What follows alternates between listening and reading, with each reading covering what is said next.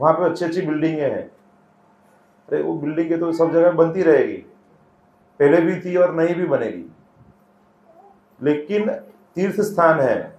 वहाँ पे हम जाएँगे, जहाँ पे भगवान की लीलाएँ हुई है। तो वहाँ पे जाने से हम पवित्र हो जाएँगे और हम भक्ति को प्राप्त करेंगे। ब्रह्मांड पुराण में कहा गया है कि तीनों लोकों के सारे तीर्थ स्थानों की यात्रा करने के सारे फल मथुरा की पवित्र भूमि के स्पर्श मात्र से प्राप्त किए जाते हैं। अनेक शास्त्रों में कहा गया है, मथुरा की भूमि के श्रवण, स्मरण, महिमा, गान, वांछा, दर्शन या स्पर्श मात्र से मनुष्य की सारी इच्छाएँ पूरी हो सकती सारी इच्छाएँ पूरी हो जाने का मतलब क्या है कि कोई इच्छा नहीं रह गया? लोग क्या समझते सारी इच्छाएँ पूरी होने का मतलब क्या है? सारी इच्छाएँ हमारी जो है वैसा हो जाएगा। यहाँ पे बताने का मतलब ये है कि फिर अकाम हो जाएँगे आप। बाकी कामनाएँ सब चली जाएगी। ज़्यादातर लोग क्या समझते हैं? कि जो भी इच्छा है वो लेके मथुरा चले जाएँगे। अरे, लड़की का मैरिज होना बाकी है। लड़के को जॉब नहीं मिली है। वो इच्छा पूरी करो। तो इच्छा खत्म हो जाएगी। मतलब भगवान आपको इतना ज्ञान प्रदान करेंगे तो वो सारी इच्छाओं से आप बाहर निकल जाओगे और भगवान की सेवा में आप लग जाओगे। आगे बताया गया है कि भक्तों की सेवा करना। पद्म पुराण में वैष्णव या भक्तों की सेवा की प्रशंसा की गई है। इस पुराण में शिवजी पार्वती से कहते हैं, हे पार्वती, पूजा की अनेक विधियाँ हैं, किंतु इसमें से परम पुरुष की पूजा सर्वश्रेष्ठ है। किंतु भगवान की भी पूजा से बढ़कर उनके भक्तों की पूजा है। श्रीमद् भागवतम के तीसरे स्कंद में बताया जाता है। मैं भक्तों का निष्ठावान सेवक बनना चाहूँगा, क्योंकि इनकी सेवा करने से भगवान के चरण कमलों की अनन्य भक्ति प्राप्त की जा सकती है। भक्तों की सेवा समस्त भौतिक संतापों को कम करने वाली है और भगवान के प्रति गहन भक्ति, प्रेम उत्पन्न करती है। तो मतलब दासानुदासानुदास जो बताते हैं ना कि दास के भी हमारी ऐसी कोई ला, लायकात नहीं है हमारी कोई ऐसा क्वालिफिकेशन नहीं है कि भगवान की डायरेक्ट सेवा कर पाए। इसीलिए हमें भगवान के जो सन्निष्ठ भक्त हैं जो भगवान की सेवा में जुड़े हुए हैं उनकी सेवा का मौका ढूंढना इसीलिए जब कोई बड़े भक्त आते हैं मंदिर में सन्यासी है या कोई महान भक्त आते हैं रूपा डिसेबल आते हैं तो हम उनको सुनने का प्रयास करते हैं उनकी सेवा करने का प्रयास करते हैं तो उनकी तुष्टि हो जाएगी तो भगवान प्रसन्न हो जाएँगे। अभी हम डायरेक्ट भगवान की सेवा करने की इच्छा नहीं करनी चाहिए। वाया वाया जाना चाहिए। डायरेक्ट जाने में अपराध होता है। अभी कोई बड़ा व्यक्ति तो उनका क्या पर्सनल असिस्टेंट रहते हैं ना? पीए रहते हैं ना? तो उनको पूछते हैं कि वो कितने बजे खाना खाते हैं, कितने बजे आते हैं, क्या है? उनको सब पता रहता है ना। जैसे भगवान के जो भक्त हैं, उनको सब पता रहता है। तो उनकी सेवा करेंगे तो वो सेवा भगवान तक पहुंचेगी। जैसे बताया जाता है कि अगर आपको कोई चीज़ भगवान को अर्पण करनी है, वो चीज़ आप गुरु को अर्पण कर दीजिए तो गुरु क्या करेंगे? वो चीज़ भगवान को अर्पण करेंगे। इसीलिए हमें हमेशा भगवान के भक्तों की सेवा करने का प्रयास करना चाहिए। स्कंद पुराण में ऐसा भी कहा गया है कि जिनके शरीर पर शंख, चक्र, गदा एवं पद्म के चिन्ह रूपी तिलक लगे रहते हैं टैटू बनाते ना लोग? आजकल। कुछ ना कुछ टैटू बनाते हैं। तो यहाँ पे क्या है कि ऐसे चिन्ह बनाने चाहिए। अगर आपको बनाना ही है तो पवित्र चिन्ह बनाइए। नहीं कि गर्लफ्रेंड का बॉयफ्रेंड का नाम लिखना। आजकल वो हमारे कुछ नर्सिंग स्टाफ है तो ऐसे कुछ बहुत बड़ा शिव जी का बहुत बड़ा टैटू लगाया था, काला काला करके। बोले इतना बड़ा टैटू बनाया। बहुत बड़े भक्त लगते ऐसे नहीं, पहले गर्लफ्रेंड का नाम लिखा था। अभी क्या शादी हो गई? तो अभी तो उसको निकल तो नहीं सकते, उसके ऊपर बड़ा सा ऐसे करके शिव जी बना दिया है। वो भगवान ने बचा लिया उसको। भगवान ने बचा लिया उसको। अभी वो टैटू तो रख नहीं सकते ना। इसलिए टैटू वो सब बनाना नहीं चाहिए। अगर बनाना है की इच्छा है तो भगवान का नाम लिखना चाहिए। नहीं कि ऐसे भौतिक जगत के लोगों का नाम। ठीक है? तिलक लगे रहते हैं और जो अपने सिर पर तुलसी दल धारण करते हैं। तो यहाँ पे तिलक में आता है ना तुलसी दल? दिखता है यहाँ पे ये तुलसी दल है। और ये क्या है ऊपर है? भगवान के चरण है। तो भगवान के चरण और तुलसी दल को अपने सिर पर ग्रहण करना चाहिए। ज़्यादातर लोगों ने ग्रहण कर लिया अच्छी बात है।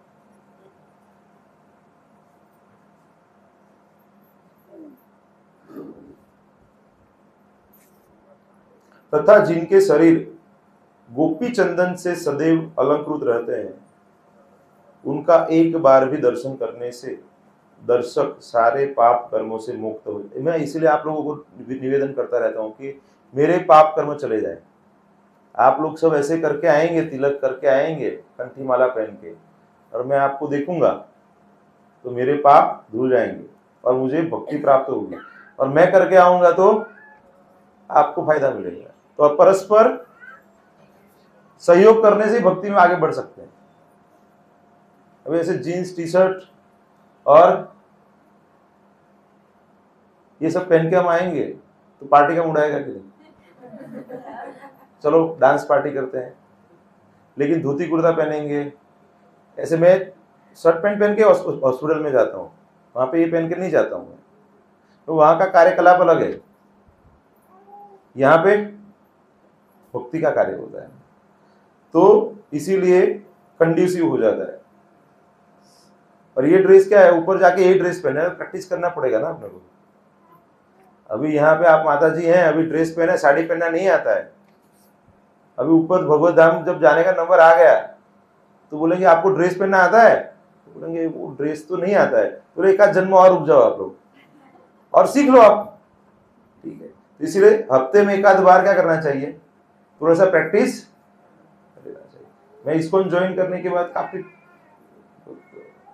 पांच साल के बाद धोती पहनना सीखा मैं तो मुझे भी नहीं आता था શરમ આવે છે એવું કે ને કેવી રીતે પહેરાય तिलक तिलक करना आता था मैं तिलक करता था लेकिन धोती पहनना नहीं आता था फिर बताया गया कि भाई महाराज को मिलना है तो आप धोती कुर्ता पहना है तो मिल सकते हो फिर वो इच्छा थी महाराज को मिलने की भक्ति चारू महाराज आए थे उस समय पूना में तो सीख गया मैं तो ऐसे एक दिन तो लाना पड़ेगा ना कौन से माता है जिनको साड़ी पहनना नहीं आता है सीख लो फिर आप सीख लो समय है अभी आपके पास और कितने लोगों को धोती पहनना नहीं आता है एक दो दो तीन लोग हैं ना सीख लो आप मुन्ना प्रभु શીખવાડજો પાછળ પાછળ આ તમે શીખી લેજો થોડા વહેલા આવી જવાનું અહીંયા આગળ પહેરી લેવાનું તમને ના આવડતું તો શીખવાડી દેશે ऐसे गर्मी में ये अच्छा ड्रेस है सर्कुलेशन अच्छा रहता है गर्मी कम लगती है गर्मी कम लगती है तो ये उनका दर्शन करते हैं तो हम पाप कर्मों से मुक्त हो जाते हैं श्रीमद् भागवतम के प्रथम स्कंद में कहा गया है कि भक्त के पास जाने उनके चरण कमल छूने या उन, उन्हें आसन देने से मनुष्य सारे पाप कर्मों के फलों से मुक्त हो जाता है। पाप कर्म वही कर्म है जो हमें भगवान की भक्ति को अपनाने से रोकते हैं। कोई भी चीज़ है अच्छा कर्म है या बुरा कर्म है, जो हमें भौतिक जगत से बांधता है, उसको अगर आप पुण्य बोल ले या पाप बोल ले, लेकिन अगर वो आपको भगवान की भक्ति से रोक रहा है तो वह पाप ही है। पॉजिटिव कर्म या नेगेटिव कर्म जो भक्ति से दूर लेके जा रहा है। क्योंकि पुण्य कर्म को भोगने के लिए फिर से यहाँ पे जन्म लेना पड़ेगा। पाप कर्म को भोगने के लिए फिर से जन्म लेना पड़ेगा। तो वो सब चीज़ें आपको क्या कर रही है? भौतिक जगत से बंधन में डालती है। लेकिन जब आप सारे कर्म भगवान की प्रशंसा के लिए करेंगे तो धीरे धीरे वो कर्मों का बंधन आपको नहीं लगेगा। इसीलिए हमें ऐसे करेंगे, थोड़ा और पुण्य हो जाएगा, और अच्छा पद प्राप्त करेंगे, उसके लिए प्रयास नहीं करना चाहिए। जो भी है, आपका नियत कर्म है, वो भगवान की प्रसन्नता के लिए करना चाहिए। तो उसको अकर्म बोला जाता है। सकर्म, यानी कि कर्म, जो नियत कर्म है। विकर्म मतलब जो विपरीत कर्म है, जो शास्त्र में नहीं बताया है, उससे विपरीत कर रहे हैं। और अकर्म मतलब जो भी आपका नियत कर्म है, वो भगवान को प्रसन्न करने के हेतु करते हैं, लेकिन उसके फल को आप भगवान को अर्पण करने का प्रयास करते हैं, अपने भोग के लिए नहीं कर रहे हैं तो उसका फ़ायदा क्या होता है? आपको बंधन नहीं लगता है। तो जैसे आप जॉब करेंगे, लेकिन भगवान की प्रसन्नता के लिए करेंगे। सैलरी तो मिलेगा ही ना, ऐसा थोड़ी है। लेकिन वो जॉब करते हुए आपकी चेतना क्या होनी चाहिए? भगवान की प्रसन्नता होनी चाहिए। आप खाना पका रहे हैं तो वो क्या होना चाहिए? भगवान को भोग अर्पण करना है, भगवान इससे प्रसन्न होंगे। उसके बाद प्रसाद तो प्राप्त होगा ही आपको। ऐसा चिंता मत करो कि अरे प्रभु जी ने बोला है, सब दे देना है तो मतलब अपने को कुछ मिलेगा नहीं, ऐसा नहीं है, मिलेगा, आपको ही मिलेगा। लेकिन वो जब कार्य करते हैं, तब जो आपकी चेतना है, वह भगवान के अंदर निवेशित कीजिए। उसके बाद जो कर्म में जो रिज़ल्ट आएगा, वह निष्पाप हो जाएगा। उसमें कोई रिएक्शन नहीं होगा। तो यहाँ पे क्या बताया है कि आपको वो पाप कर्मों से मुक्त कर देंगे। इसमें कोई संशय नहीं है। यहाँ तक कि ऐसे वैष्णव के कार्यकलापों के स्मरण से ही मनुष्य अपने परिवार सहित शुद्ध हो जाता है। तो फिर उनकी प्रत्यक्ष सेवा करने के विषय में क्या कहा जाए? जैसे भी नरसिंह आरती दीप प्रभु बोल रहे थे तो ऐसे प्रहलाद महाराज की जय प्रोपात की जय, सबकी जय क्यों करते हैं? क्योंकि वो महान है। भक्त शिरोमणि बताया जाता है ना, पाँच साल का बच्चा है, वो भक्त शिरोमणि है। क्यों है? क्योंकि वो भगवान को हमेशा स्मरण करते थे। जब हम उनका स्मरण करेंगे तो हम भी पवित्र हो जाएँगे। तो उनका स्मरण कब कर पाएँगे? जब उनकी महानता को हम समझेंगे। इसीलिए भागवतम का अध्ययन करना अति आवश्यक है। आदि पुराण में साक्षात भगवान कृष्ण अर्जुन को संबोधित करते हैं, हे पार्थ, जो अपने को मेरा भक्त बताता है, वह मेरा भक्त नहीं है। जो अपने को मेरे भक्त का भक्त बतलाता है, असल में वही मेरा भक्त है। तो हमें भगवान की डायरेक्ट सेवा का प्रयास नहीं करना चाहिए। भक्त का भक्त, यानी कि सेवक का सेवक बनने का प्रयास करना चाहिए। कोई भी व्यक्ति भगवान के पास सीधे नहीं पहुँच सकता। जैसे भगवान की रासलीला है तो वहाँ पे राधा रानी भगवान के साथ रासलीला करते हैं। तो बाकी सब गोपियाँ हैं, वो सब असिस्टेंट है। तो मंजरियाँ हैं, वो उनके असिस्टेंट है। तो अपने जो गुरुदेव हैं, परम परम पूज्य श्री प्रपात जी हैं, उनके गुरुदेव हैं, उनके गुरुदेव हैं तो वो सब मंजरियाँ हैं। मंजरी का मतलब क्या है? ऐसी बालिका है जो युवती नहीं है, लेकिन जो भगवान की जो सेवा है, जो गोपियाँ कर रहे हैं, उसमें उनकी सेवा कर रही है। अभी ये प्रभुपाद ने पुस्तक लिखा है तो प्रभुपाद इतने कॉन्फिडेंस से क्यों बता सकते हैं? क्योंकि वो वहाँ से आए हुए उनको सब पता है कि भगवान को क्या चाहिए क्या चाहिए, क्या नहीं चाहिए। इसलिए इतना सॉलिड बता सकते हैं। जिसने देखा हुआ है। और हमको कुछ नहीं करना है। उन्होंने जो बताया है उसको श्रद्धा पूर्वक पढ़ना है। और श्रद्धा पूर्वक पढ़ेंगे तो हमें भी कॉन्फिडेंस आ जाएगा। लेकिन पढ़ेंगे ही नहीं तो? एटलीस्ट सुनना तो चाहिए। सुनेंगे तो क्या होगा? घर पे जाके पढ़ने की इच्छा होगी। और जब आप पढ़ेंगे तो फिर रस उत्पन्न होगा। जो भक्ति में बताते हैं ना, आदो श्रद्धा। श्रद्धा सबसे इंपॉर्टेंट है। सबसे पहले श्रद्धा होनी चाहिए। श्रद्धा होगी तो क्या होगा? साधु संग होगा। जैसे हम सब लोग मिले हुए भक्तों के संग में आएँगे। साधु संग से क्या होगा? भजन होगा। करते हैं ना? सब मिलके भजन करते हैं। उसके बाद क्या होता है? अनर्थ निवृत्ति होती है।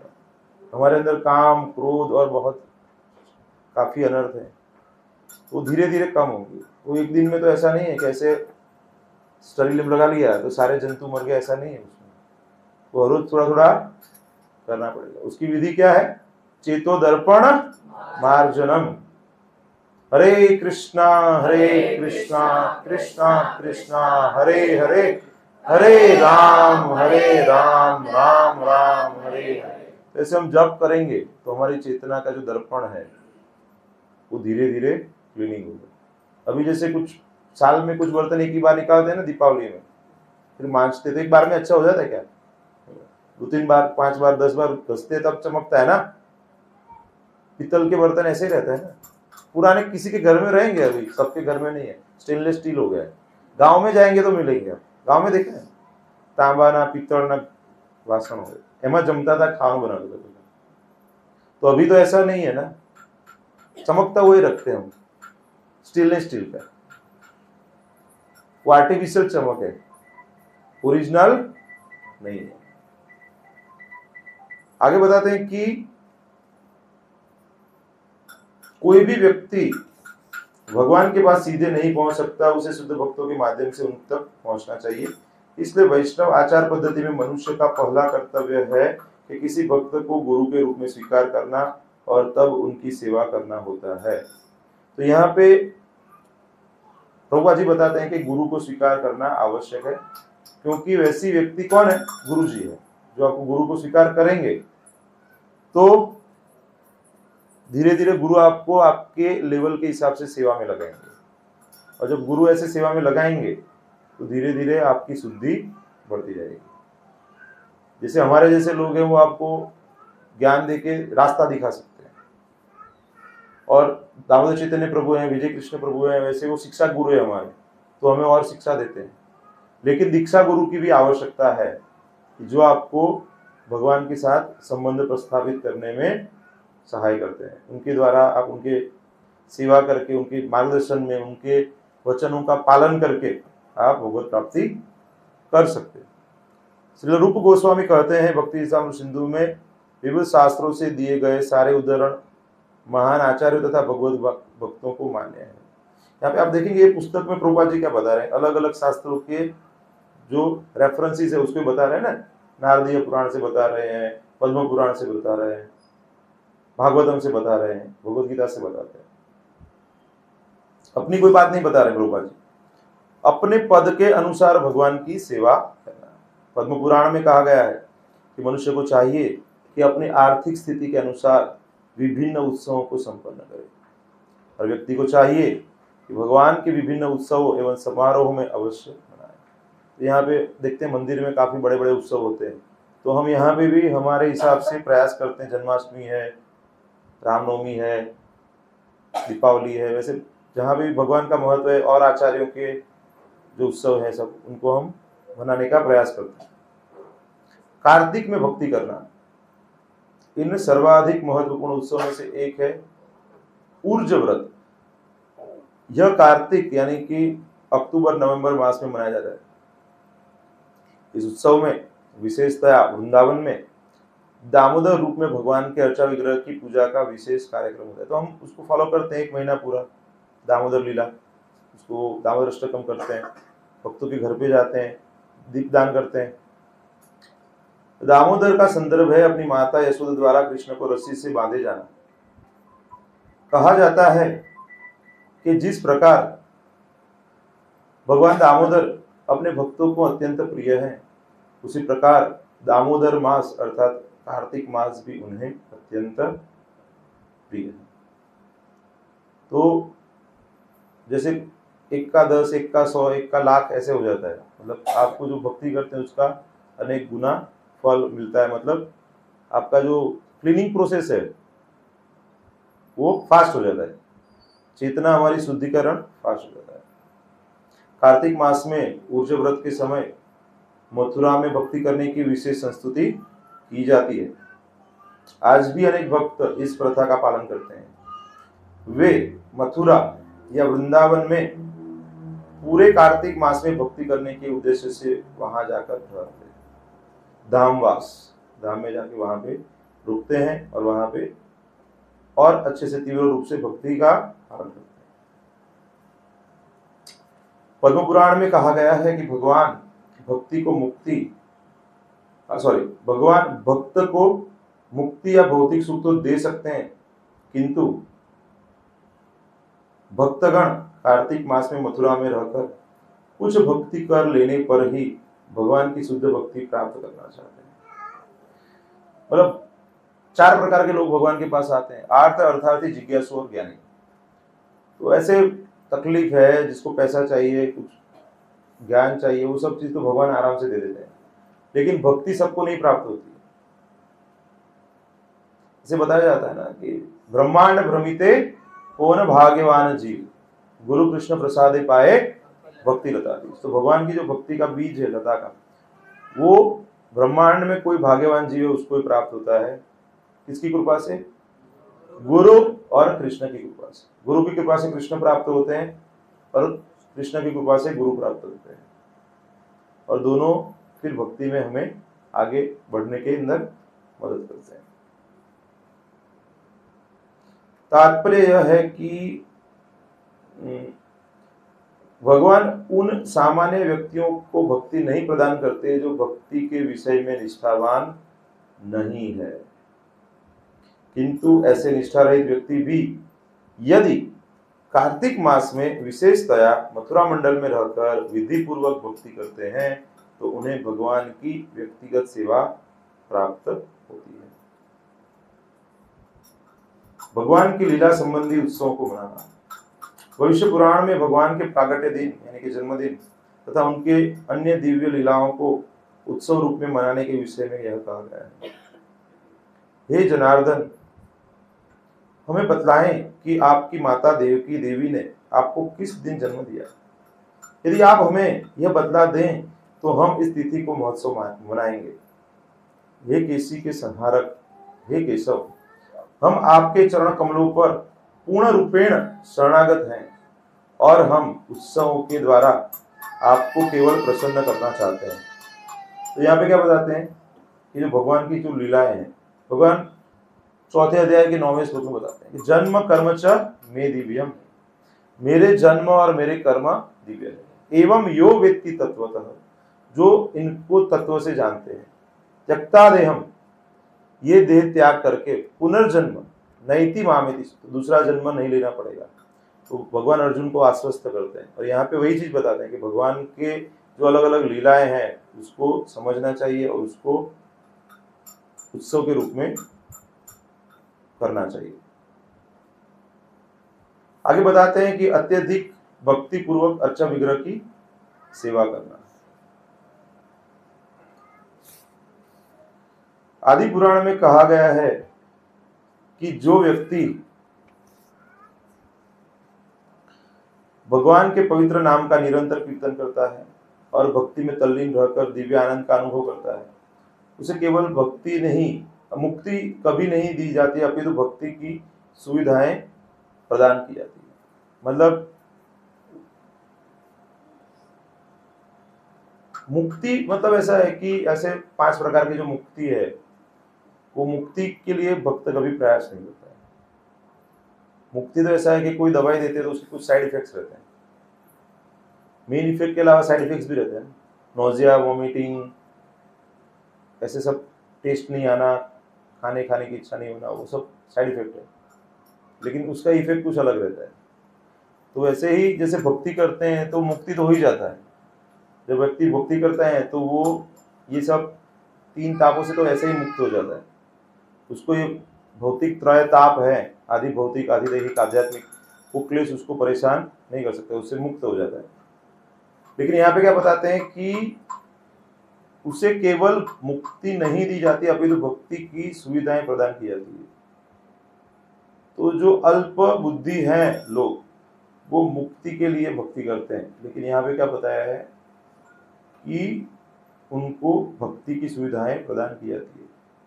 वैकुंठ का मतलब क्या है कि जहाँ पे कोई प्रॉब्लम्स नहीं है? वय मतलब नहीं, कुंठ मतलब तकलीफ़ है। तो ऐसी जगह जहाँ पे कोई तकलीफ़ नहीं है। तो जो भक्ति में लगा हुआ है, उसके लिए भक्तों का संग ही वैकुंठ है। जब तक आप भक्तों के संग में रहते हैं तो आप कोई भी प्रकार के तकलीफों का अनुभव नहीं करते। जैसे ही आप भक्तों का संग छोड़ के भौतिकतावादी लोगों के संपर्क में आते हैं, वैसे ही तुरंत आप त्रय तापों का अनुभव करना चालू करेंगे।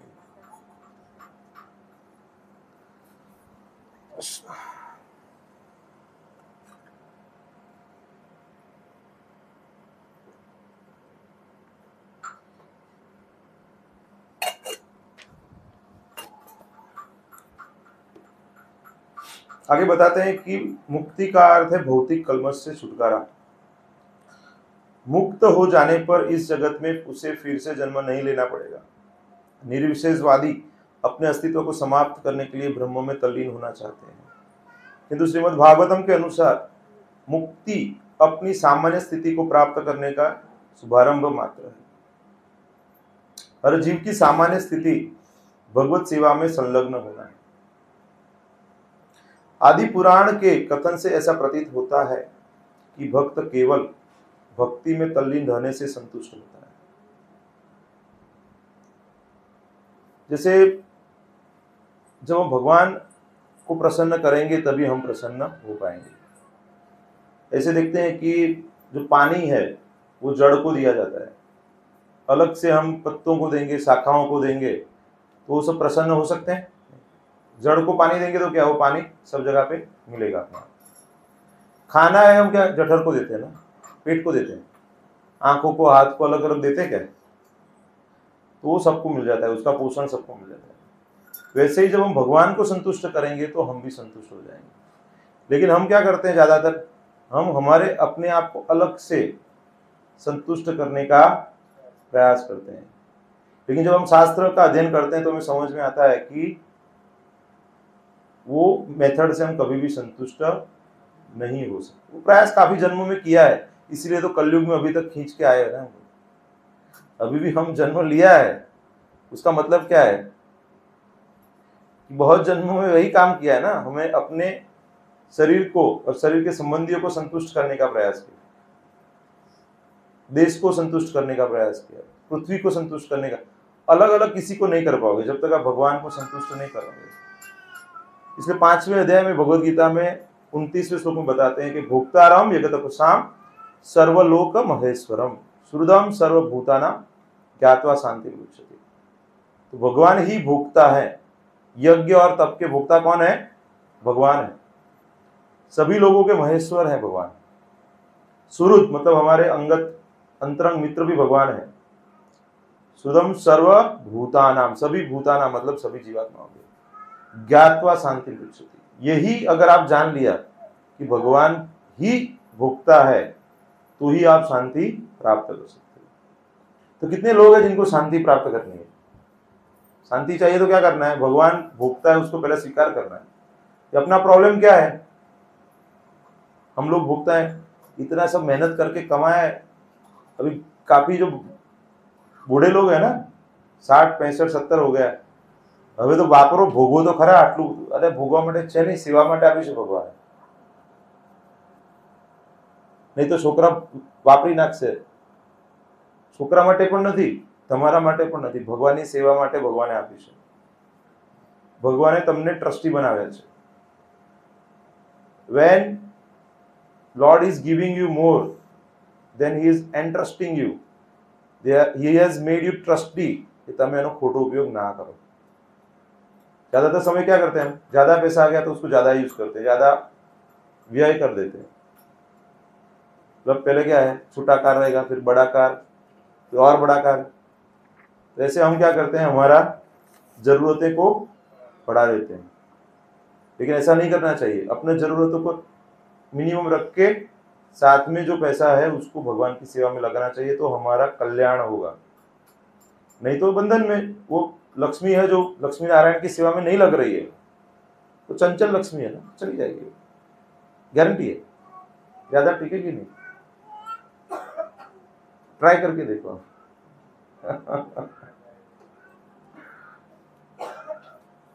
भक्तों के बीच श्रीमद् भागवतम का पाठ। श्रीमद् भागवतम वैदिक ज्ञान का कल्पतरु है। वेद का अर्थ है ज्ञान की राशि मानव समाज को जिस किसी ज्ञान की आवश्यकता है वह श्रीमद् भागवतम में पूर्णतया प्रस्तुत किया गया है। वैदिक ग्रंथों में ज्ञान की विविध शाखाएँ हैं, जिनमें समाज, विज्ञान, राजनीति, औषधि तथा सैन्य कला सम्मिलित है। वेदों में इनका तथा ज्ञान की अन्य शाखाओं का सम्यक वर्णन मिलता है। इसलिए जहाँ तक आध्यात्मिक ज्ञान का संबंध है, उसका भी सम्यक वर्णन मिलता है। श्रीमद् भागवतम को वेदों के इन कल्प वृक्ष का पक्व फल माना जाता है तो આંબામાં શાક પડે ને એટલે કે પાકેલું કેરી પડે પછી એ કેરી तोड़ाए ત્યાં સુધી नहीं तोड़वी चाहिए तो यहाँ पे क्या बताते हैं वृक्ष का सम्मान फल उत्पादन के कारण है उदाहरणार्थ आम्र वृक्ष को अत्यंत मूल्यवान माना जाता है क्योंकि इस इसमें फलों के राजा आम के फल लगते हैं जब आम पकता है तो वह उस वृक्ष का सबसे बड़ा उपहार होता है। उसी प्रकार श्रीमद भागवतम को वैदिक वृक्ष का पक्व फल माना गया अमलम पुराणम, सर्वोच्च पुराण माना जाता है। अठारह पुराण है उसमें। जिस तरह तोते की चांचों से प्रथम स्पर्श से पका फल अधिक सुस्वादु बन जाता है, उसी तरह श्रीमद् भागवतम सुखदेव गोस्वामी के दिव्य मुख से निकलने के कारण अत्यंत आस्वाद्य परीक्षित महाराज को जो भागवतम है, उसका उपदेश किसने किया था? सुखदेव गोस्वामी ने किया इसलिए उनका, उसका महत्व और, क्योंकि सुखदेव गोस्वामी कैसे थे पहले? निर्विशेषवादी थे। उसमें से फिर वो क्या है? भक्त बन जाते हैं। क्योंकि वो भागवतम के श्लोक सुनते हैं। और फिर वो भागवतम का अध्ययन करते हैं, उनके पिताजी व्यासदेव जी के द्वारा समझते हैं। और फिर वो पूरा ज्ञान सबको देते हैं। श्रीमद भागवतम की अविच्छिन्न शिष्य परंपरा से प्राप्त करना चाहिए। जब पके फल को वृक्ष के ऊपरी भाग से कई व्यक्ति ऊपर की शाखा से नीचे की शाखा पर हाथ में देकर भूमि पर लाते मतलब एक से दूसरे हाथ में, दूसरे से तीसरे हाथ में। किसी ने नीचे डायरेक्ट फेंक दिया भूमि पे तो वो फिर अच्छा नहीं रहेगा। उसका जो फल का जो मूल्य है वो कम हो जाएगा। तो वो धीरे धीरे हाथ में देकर भूमि पर लाते हैं तो फल नष्ट नहीं होता है। इसी प्रकार जब श्रीमद भागवतम को परंपरा पद्धति से। भगवदगीता में बताते हैं ना, चौथे अध्याय के दूसरे से। इमम परंपरा प्राप्त इमम एवं परंपरा प्राप्त इमम राजस्य तो ये परंपरा से प्राप्त ज्ञान है। तो उसको हमें परंपरा सिस्टम से ही प्राप्त करना चाहिए। यहाँ पे आप देखेंगे, गुरु परंपरा है पूरा। जैसे यहाँ पे प्रभु जी के जो गुरु महाराज है राधानाथ स्वामी महाराज है उसके बाद रूपाल जी हैं सिद्धांत सरस्वती महाराज है। वैसे पूरा गुरु परंपरा है। तो वैसे वो पूरा ज्ञान जो भगवान कृष्ण से ब्रह्मा जी को प्राप्त हुआ, ब्रह्मा जी से, नारद जी को, और वैसे पूरा जो गुरु परंपरा से ज्ञान आता है, वही ज्ञान को हमें प्राप्त करना चाहिए। ऐसा कोई ज्ञान प्राप्त नहीं करना चाहिए कि कोई व्यक्ति बोले कि मैं बैठा था, मुझे ज्ञान हो गया। तो वो ज्ञान, पूर्ण ज्ञान नहीं भी हो सकता है। कुछ ज्ञान हो सकता है उसमें, लेकिन जो भगवान ने दिया है वह ज्ञान जो गुरु परंपरा से आता है, उसे ही स्वीकार करना चाहिए। बाकी आज के समाज में कलयुग में तो काफ़ी ऐसे लोग हैं जो अपने आप को से गुरु के रूप में प्रस्तुत करते हैं और आपके पैसे लेके चले जाते हैं। ऐसे काफ़ी देखने को मिलते हैं। तो ऐसे लोगों से हमें बच के रहना चाहिए और गुरु शिष्य परंपरा में जो आते हैं, उनसे ही ज्ञान प्राप्त करना चाहिए। ऐसे ज्ञान को उन परंपरागत अधिकारी व्यक्तियों के माध्यम से प्राप्त करना चाहिए जो शास्त्रों के असली प्रयोजन को जानते हैं। जैसे प्रभुपाद के अलावा भी काफ़ी लोगों ने भगवत गीता के ऊपर भाष्य लिखे। लेकिन उनका मूल्य मूल प्रयोजन कृष्ण भगवान की भक्ति देना नहीं था ना। इसलिए उनकी भगवत गीता पढ़ के कोई भक्त नहीं बना। लेकिन प्रभुपाद ने क्या किया? यथारूप, भगवत गीता, जसी आहे तसी, तेना मूल रूपे, ऐसा अलग अलग लैंग्वेज में उन्होंने एज इट इज़ क्यों लिखना पड़ा ऐसा? उसके पहले भगवत गीता को लोग अपने हिसाब से, अपने भाव को प्रकट करते थे। They were using Bhagavad Gita to express their internal motives और desires to get fame name etcetera लेकिन प्रभुपाद ने क्या कहा? इसका मुख्य बोलने वाले कौन है? भगवान कृष्ण है। भगवान कृष्ण क्या बोलते हैं? सर्वधर्मान परित्यज्य मामेकम शरण अहम काम सर्व पापे भ्यो मोक्षिष्यामी। सब छोड़ दो और मेरी शरण में आ जाओ। लेकिन बाकी सब लोग कुछ अलग समझाते हैं। तो जब भगवत गीता को आप सही रूप में पढ़ेंगे, तभी कृष्ण को प्राप्त करेंगे उसका जो मुख्य उद्देश्य है कृष्ण को प्राप्त करना है। भगवान बार बार बताते हैं, लेकिन जो मायावादी भाष्य लिखते हैं या जिसका कुछ अल्टरे मोटिव है, कुछ अपना अलग से मोटिव है तो वो लोग वो चीज़ को हटा के अपना मोटिव डाल देते हैं। अभी ऑल ओवर वर्ल्ड सबसे ज़्यादा पढ़ने वाली भगवत गीता प्रभुपाद ने दी हुई है, वही भगवत गीता है। क्यों? क्योंकि जो कृष्ण की इच्छा है कि कृष्ण के साथ भक्त जुड़े, जो उसका पर्पज है, उससे सब हो रहा है। बाकी का क्या है? थोड़ा बहुत कॉपी लोग पढ़ते हैं, लेकिन फिर बाद में साइड में रख देते हैं। लेकिन ये पुस्तक ऐसा है कि लोग बार बार पढ़ते हैं। पढ़ते हैं, वो तो ठीक है, लेकिन लोगों को गिफ्ट भी देते हैं, वितरण के लिए भी आते हैं। उनको भी इतना अच्छा लगा। अभी आप समझिए कि कहीं सब्ज़ी लेने गए, अच्छी सब्ज़ी मिल रही है तो आप बता अरे वो वहाँ पे बहुत अच्छी, फ्रेश सब्ज़ी मिलती है। ये ऑर्गेनिक गेहूँ अच्छे मिलते हैं यहाँ पे। खाने पीने की चीज़ में भी हम कहते हैं ना तो भक्ति में भी ऐसा ही है ना कि अच्छा किसी को लगेगा तो आप रिकमेंड करोगे कि नहीं? इसीलिए रूपा जी ने बताया कि पुस्तक वितरण करना चाहिए। श्रीमद चैत, श्री चैतन्य महाप्रभु ने संस्तुति की है कि भागवतम नामक स्वरूप सिद्ध व्यक्ति के मुख से ही श्रीमद भागवतम सीखनी चाहिए। मतलब व्यक्ति भागवत से पुस्तक भागवत समझना चाहिए। जो व्यक्ति ने पूर्ण रूप से अपना जीवन भगवान को समर्पित किया है तो ऐसे जो गुरु परंपरा में है, उनके मुख से हमको भागवत सुनना चाहिए। और जब हम वो भागवत सुनेंगे तो हमारे हृदय के जो संशय है, वो सारे दूर हो जाएँगे। जो पैसा लेके कथा करते हैं, वैसे कथाकारों से हमें दूर रहना चाहिए। ऐसे बड़े बड़े नाम रहते हैं, जो पैसे लेके कथा करते हैं कि नहीं?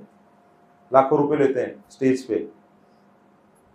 उनसे सुनने का कोई फ़ायदा वो वहाँ पे अच्छा लगेगा, अरे, मज़ा आ गया, पार्टी हो गया एकदम। लेकिन जैसे आप घर पे जाएँगे ना तो कोई मज़ा नहीं रहेगा। वो सब मज़ा निकल जाएगा आपका, क्योंकि वो अर्थोपार्जन के लिए कथा करते हैं। इसीलिए जो ब्रह्मचारी है, सन्यासी है या गृहस्थ है, लेकिन जो शुद्ध भक्ति में लगा हुआ है, उसके मुख से ही हमें कृष्ण कथा को सुनने का प्रयास करना चाहिए। श्री चैतन्य महाप्रभु ने संस्तुति की है कि श्रीमद भागवतम का असली स्वाद चखने के लिए भागवतम पुरुष से ही शिक्षा ग्रहण करनी चाहिए। मुक्त पुरुष के लिए श्री श्रीमद भागवतम आस्वाद्य है। सुखदेव गोस्वामी ने स्वीकार किया है।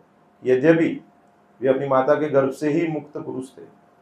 तो उनको तो आशीर्वाद था कि वो उनको माया का प्रभाव नहीं होगा। किंतु श्रीमद भागवतम के आस्वादन के बाद ही वे महान भक्त बने। तो भागवतम के जो श्लोक सुनते हैं, उनके पीछे वो चले जाते हैं घर छोड़ के। तो उनके पीछे वेद व्यास जी, उनके कुछ शिष्यों को भेजते हैं और बोलते हैं कि आप भागवतम का ये श्लोक उनको सुना तो वो श्लोक सुनते हैं तो उनको लगता है, अरे, ये तो बहुत मधुर श्लोक है। तो बोलते किसने बताया? तो बोले, आपके पिताजी ने बताया। तो वापस आ जाते हैं और पूरा भागवतम उनसे सीखते हैं। तो पिता, पुत्र का संबंध है, पति, पत्नी का संबंध है, वो भी सब भक्ति के संबंध में होना चाहिए। उससे फ़ायदा क्या होगा? आप घर में भी बंधन में नहीं रहोगे। ऐसे तो पत्नी त्रास दे सकते हैं, पति त्रास दे सकता है, बच्चे त्रास दे सकते हैं ना? परेशान कर सकते हैं ना। लेकिन जब वो भक्त रहेंगे सब तो फिर वो धीरे धीरे आनंद देंगे आपको। सही कि नहीं? मंदिर में ऐसे भी काफ़ी पेरेंट्स आते हैं जिनके बच्चे साधु हैं। वो बहुत प्रसन्न है। कितने लोगों को ऐसा लगा कि बच्चों को साधु बनाना चाहिए?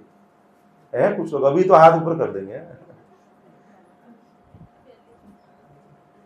कहने का मतलब क्या है कि अगर वो बन रहा है तो बनने देना है, उसको बनाना नहीं है आपको।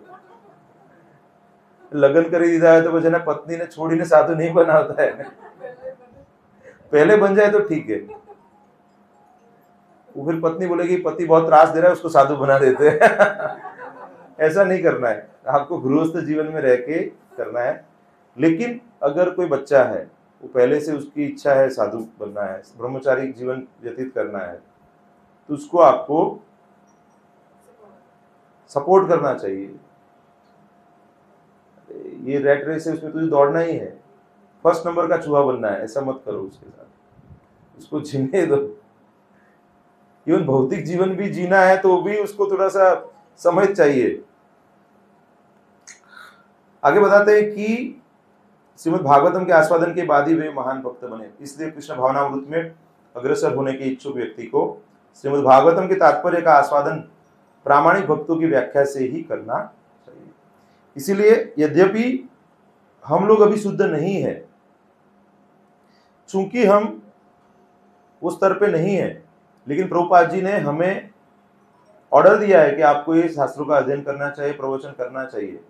इसलिए उनके आदेश पे हम लोग प्रवचन कर रहे हैं। और जैसे कि हम प्रभुपाद की पुस्तक से पढ़ रहे हैं, सुन रहे हैं तो हमारी शुद्धि हो रही है। मेरे अंदर ऐसा कोई पावर नहीं है कि मैं आपको कुछ बताऊँ और आप शुद्ध हो जाओ।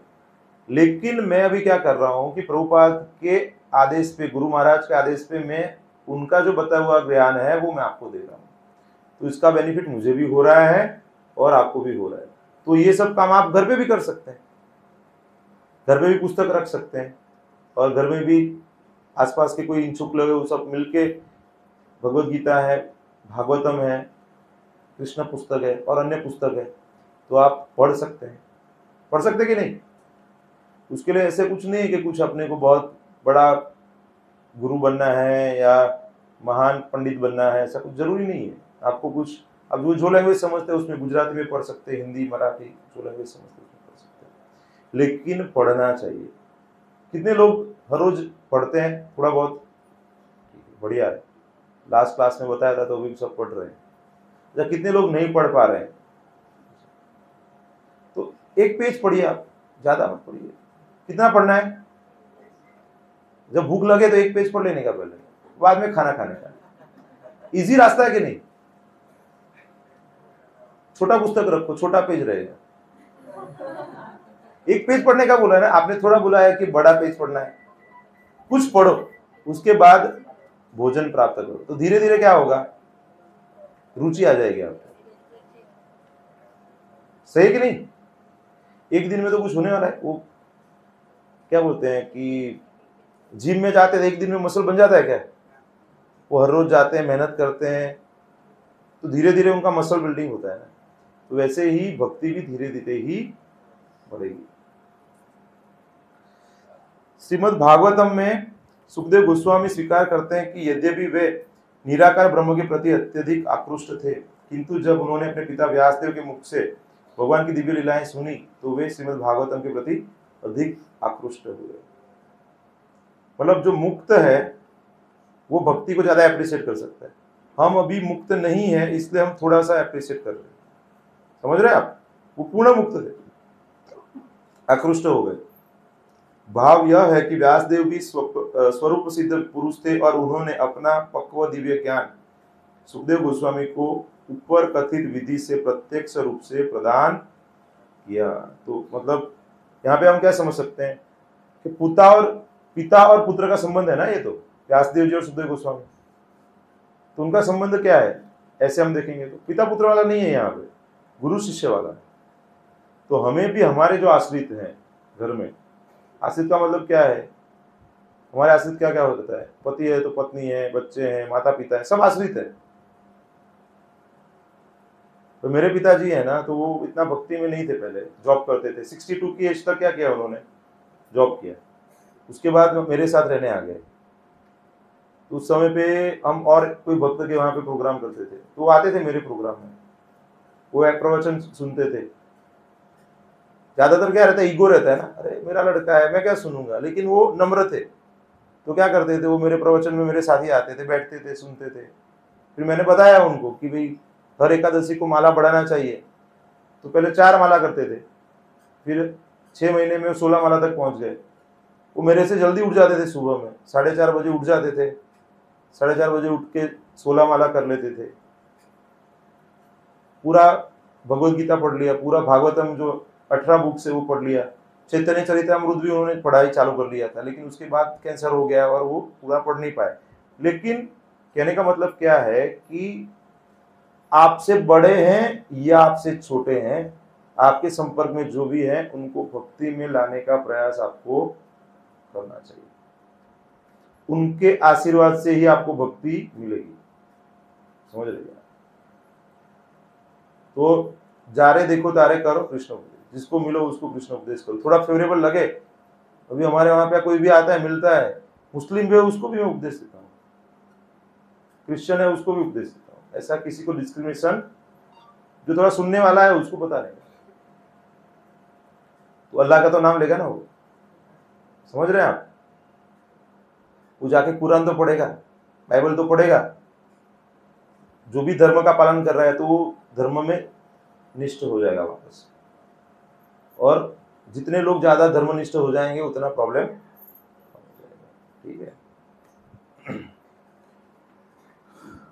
प्रगत भक्तों की संगति करना दैट इज़ वेरी इंपॉर्टेंट शुद्ध भक्तों के समाज में श्रीमद भागवतम की व्याख्या करने का महत्व, सौनक ऋषि ने नैमिषारण्य की सभा में सूत गोस्वामी की उपस्थिति में बताया था। सूत गोस्वामी ने पुष्टि की थी कि यदि कोई क्षण भर के लिए भी भगवत भक्त की संगति करने का अवसर लाभ करता है तो विशेष क्षण इतना मूल्यवान होता है कि स्वर्ग तक पहुँचने वाले या भवसागर से मोक्ष दिलाने वाले पुण्य कर्म भी उसकी तुलना नहीं कर सकते।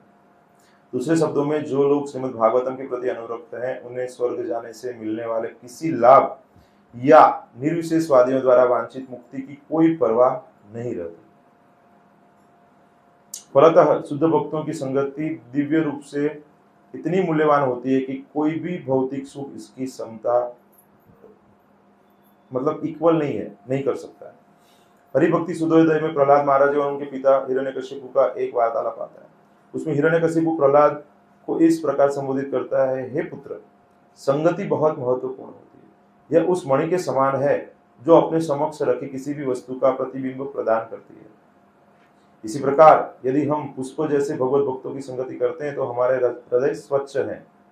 और यह भी वैसे ही घटना घटेगी। इस प्रसंग में जो दूसरा उदाहरण दिया गया है, यह कि यदि पुरुष वीर्यवान है और स्त्री रोगी नहीं है तो उसके मिलन से गर्भ धारण होगा। इसी तरह, यदि आध्यात्मिक ज्ञान का ग्राहक और उसका दाता दोनों निष्ठावान तथा प्रमाणिक है तो परिणाम उत्पन्न हो तो इसीलिए अच्छे गुरु को ग्रहण करना चाहिए, जो परंपरा में लगे हुए आगे बताते भगवान नाम का संकीर्तन। श्रीमद भागवतम में हरे कृष्ण हरे कृष्ण कृष्ण कृष्ण, हरे हरे हरे राम हरे राम राम राम, हरे हरे। संकीर्तन के महत्व पर अत्यंत बल दिया गया है।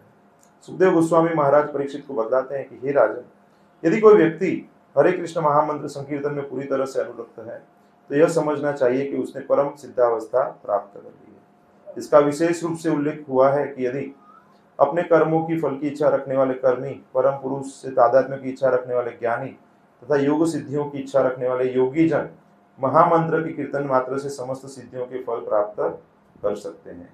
लेकिन वो नहीं करेंगे क्योंकि वो उनको अलग चीज़ों की इच्छा है, इसलिए वो नहीं करेंगे। सुखदेव गोस्वामी निर्णितम शब्द का प्रयोग करते हैं, उसका अर्थ है कि वह पहले ही निश्चित हो चुका है। वे मुक्तात्मा थे अतः किसी ऐसी बात को स्वीकार नहीं कर सकते थे कि वो निर्णयात्मक न हो। अतएव सुखदेव गोस्वामी बलपूर्वक कहते हैं कि इस निष्कर्ष पर पहले ही पहुँचा जा चुका है, जिससे संकल्प पूर्वक तथा दृढ़ता पूर्वक हरे कृष्ण मंत्र के संकीर्तन की अवस्था प्राप्त कर ली है। उसे कर्म, ज्ञान तथा योग की अग्नि परीक्षाओं में खरा उतरा माना मतलब आपको बोले क्लियर है, तभी आप भक्ति में आगे बढ़ सकते हैं। आपको भक्ति में रुचि अगर वैसे आएगा ही नहीं नहीं तो आप कर्मों में लगे रहेंगे, ज्ञान में लगे रहेंगे या ध्यान में लगे रहेंगे। काफ़ी ऐसे लोग भी हैं कि जो बाकी के मार्ग में लगे रहेंगे। लेकिन जो भक्ति में लगा है मतलब वो सब स्टेज पास किया हुआ है। जो टेंथ में आ गया, वो तो समझना चाहिए कि वो टेंथ का लेवल है मतलब वो नाइन्थ तक क्लियर हुआ है उसका। उसको अलग से फिर से करवाने की आवश्यकता नहीं है। इसी बात की पुष्टि आदि पुराण में कृष्ण द्वारा की गई है कि वे अर्जुन को संबोधित करते हैं कि जो व्यक्ति मेरे दिव्य ज्ञान की कीर्तन में लगा रहता है, उसे सदा मेरी संगति में रहा मान लो। मैं तुमसे स्पष्ट कहता हूँ कि मैं ऐसे भक्त का आसानी से कृतदास बन जाता भगवान दास बन जाते हैं। देखते हैं ना। नरसिंह मेहता की सेवा करते हैं, अर्जुन की सेवा की है तो उसे समझ सकते हैं भगवान उसकी सेवा करते हैं। पद्म पुराण में भी कहा गया कि हरे कृष्ण मंदिर का कीर्तन उसी व्यक्ति के ओठों से, ओठों पर रहता है जिसके अनेक जन्मों तक वासुदेव की पूजा की है। आगे यह भी कहा गया है कि भगवान के पवित्र नाम तथा साक्षात भगवान में कोई अंतर नहीं होता है। फलतः पूर्णता, शुद्धता तथा नित्यता में पवित्र नाम भगवान में ही, भगवान के ही समान पूर्ण है। पवित्र नाम न तो भौतिक ध्वनि है, न ही उसमें कोई भौतिक कलमस रहता है। अतः जो व्यक्ति अपने इंद्रियों को शुद्ध नहीं किए रहता, वह पवित्र नाम का निरपराध कीर्तन नहीं कर सकता। तो हम लोग निरंतर नहीं कर रहे ना?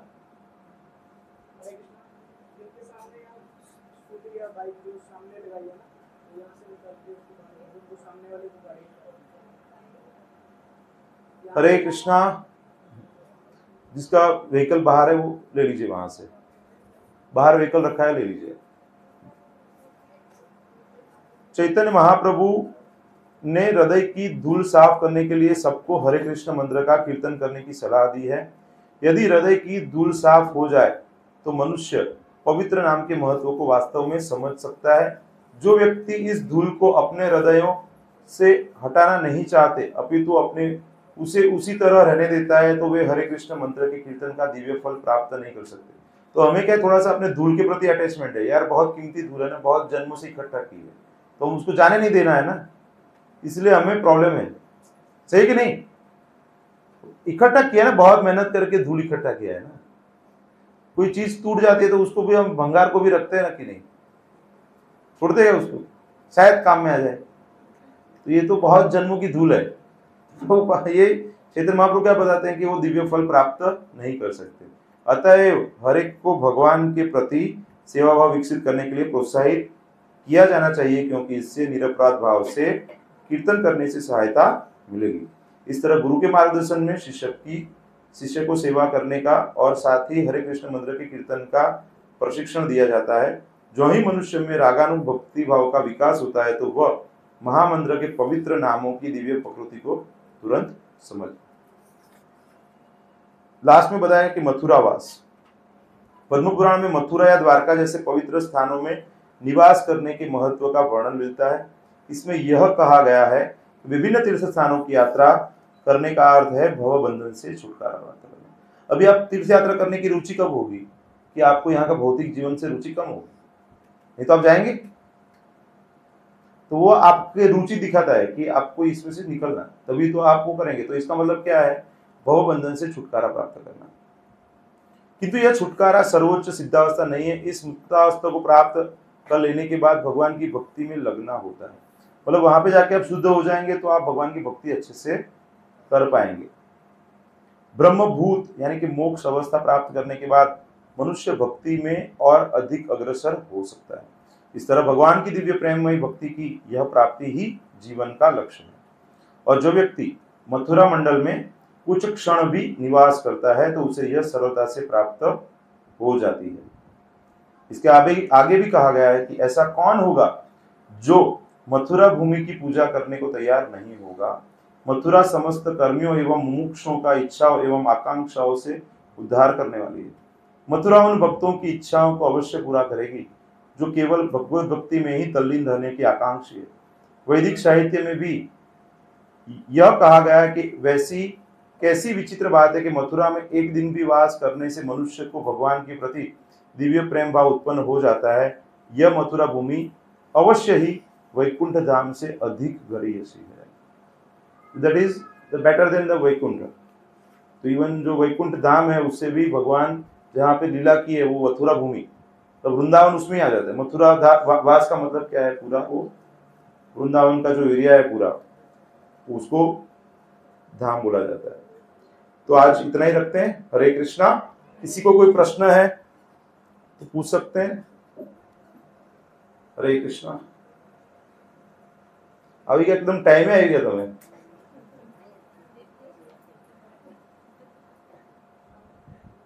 तो अभी जो लोग जप नहीं करते हैं तो थोड़ा जप करना चाहिए। दो माला, चार माला, जितना समय मिले। कलयुग में ऐसे बताया जाता है, हरि नाम हरि नाम हरि नाम, एवं केवलम, कलो नास्ती, एवं नास्ती एवं नास्ती, गतिर कलयुग में और कोई उपाय नहीं है। तो कैसे जब करना है, अन्य भक्तों से आप सीख सकते हैं। संडे को प्रोग्राम रहता है तो वहाँ पे प्रैक्टिकली आप देख सकते हैं। पद्मानंद कृष्ण प्रभु।